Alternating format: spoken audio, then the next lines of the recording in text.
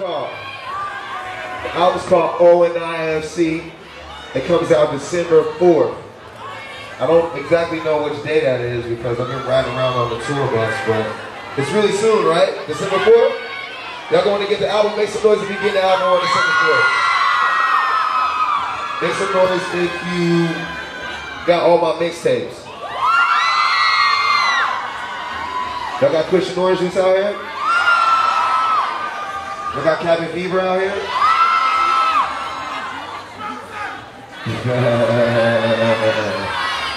Y'all heard the new single feature in the Weeknd? Y'all like that video?